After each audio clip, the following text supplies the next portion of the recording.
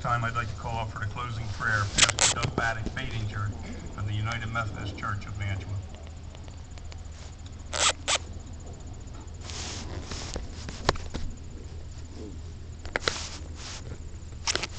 Because this 15th anniversary of September 11th is falling on a Sunday, I'd like to extend an invitation to those who would like to continue to remember as we mark the events of the day back to a special service of remembrance at the United Methodist Church 9:45 if you're able to join us.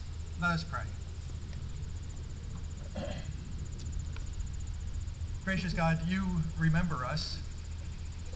We know that because you bless us and you continue to heal us.